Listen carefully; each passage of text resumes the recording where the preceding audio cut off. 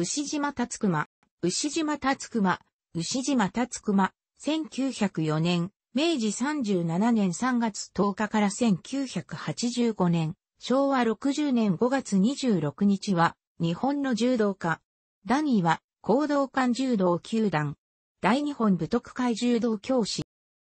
明治神宮大会3連覇、昭和天覧試合準優勝。その圧倒的な強さと気の荒さから、鬼の牛島と称された。柔道史上最強を歌われる、木村正彦の師匠として有名だが、牛島自身も木村に負けぬ実績を持つ強豪であった。熊本県熊本市の製油業者の家に生まれる。もともとは剣道を修行していたが、15歳の時に、長兄の影響で、肥後柔術三道場の一つ、古希新流、江口道場に入門した。熊本では、行動館柔道よりも、まだ古流柔術の方が盛んであった。この肥後柔術三道場の対抗戦は、判定勝利はなく、参ったのみで勝負を決するもので、時には腰に短い木刀を刺して試合をやり、投げて組み伏せ、最後は木刀で相手の首をかき切る動作をして本勝ちとなるルールでも戦った。これら古流柔術は柔らをあくまで武士の戦場での殺人武術だと位置づけていた。まだ全日本選手権がない頃、実質的な日本一決定戦だった明治神宮大会を1925年から3連覇した。1929年に開かれた第1回展覧試合では、予選リーグを得意の寝技で、オール一本勝ち、決勝を武道専門学校教授の栗原民夫、後の10段と争い、25部の激闘の末、惜しくも判定で敗れる。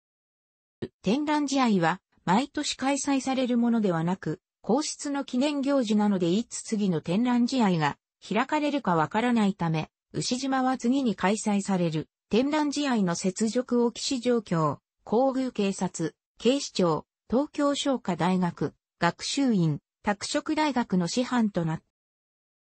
そしてこの年の夏から東京でのさらなる猛稽古が始まった。あちこちにで稽古に回り、1日最低でも40本のランドリーをこなした。稽古後は消耗して、階段も登れず、食事は粥しか喉を通らない。朝起きると、手の指が固く縮こまって開かず、湯につけて温めながら少しずつ伸ばすほどの凄まじい稽古量をこなしたという。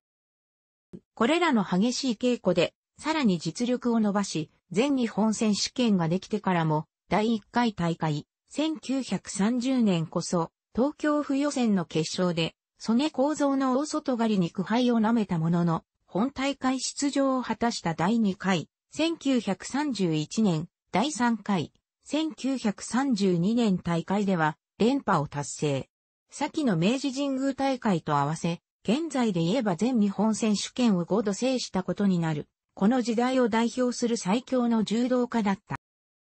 1934年、皇太子生誕記念の第2回展覧試合に出場。予選リーグで遠藤清に勝ったが、菊池上げ2と大谷明に敗れ、リーグ敗退した。この時の牛島の敗戦は緩急中により体が衰弱しきっていたことが原因だという。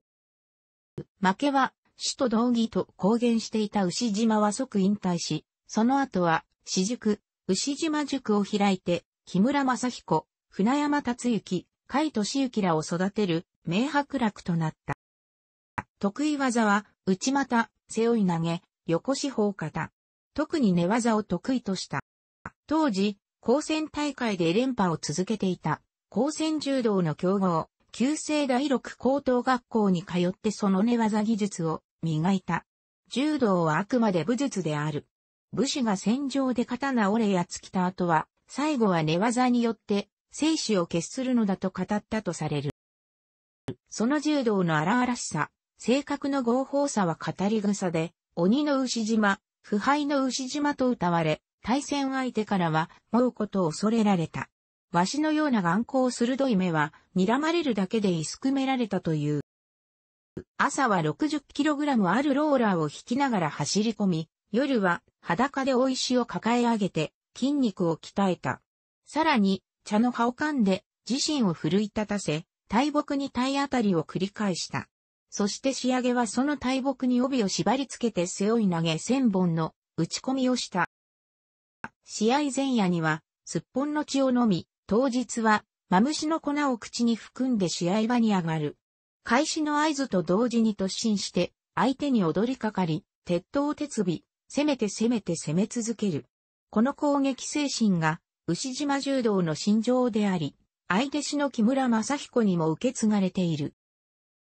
1934年の皇太子、生誕記念展覧試合では試合前から環球中に体を侵され、体重が 9kg も減って歩くことすらままならない状態だったが、精神力でカバーするために洞窟にこもって1ヶ月間そこで座禅、宮本武蔵の逸話書を老称して試合に備えた。体が動かぬのを精神で補おうという決意であったが、結局牛島は敗れてしまった。この病気さえなければ間違いなく、優勝は彼だったとも言われている。牛島は自身が叶えられなかった天覧試合制覇を制すために有望な選手を探す。見つけたのが母校の旧制鎮西中学校の後輩、木村正彦であった。木村を拓殖大学余暇に引っ張り、自宅で衣食住の面倒を見ながら激しい稽古をつけ、不正室の柔道王、木村正彦を育てた。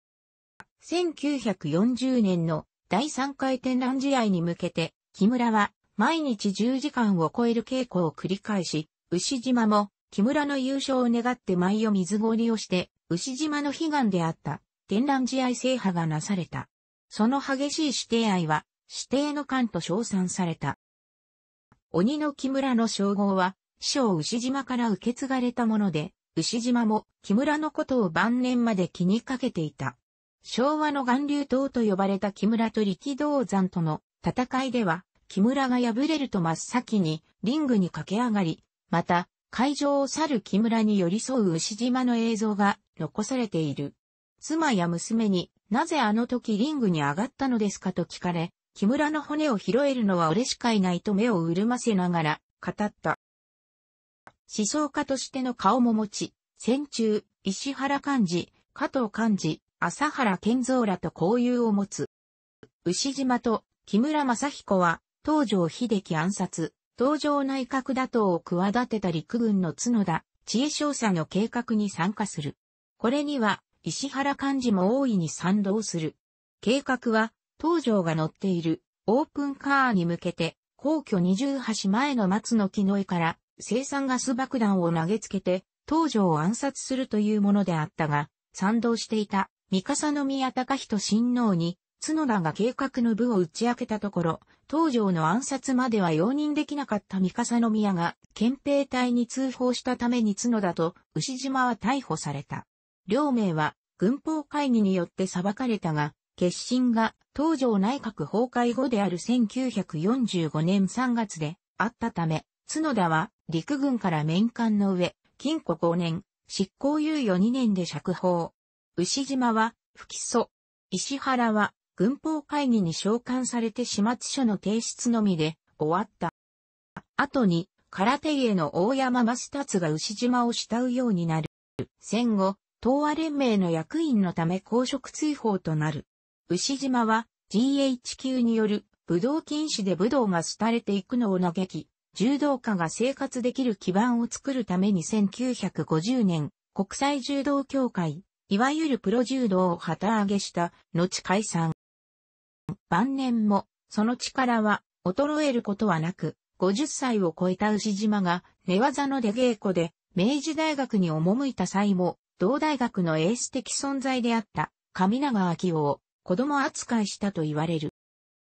亡くなる前年の1984年に行動館100周年を記念して球団に昇段したが、柔道伝道においても十分な実績を残していることからすれば、実質的な最高段位である10段に登っても不思議はなかったと、う声もある。楽しくご覧になりましたら、購読と良いです。クリックしてください。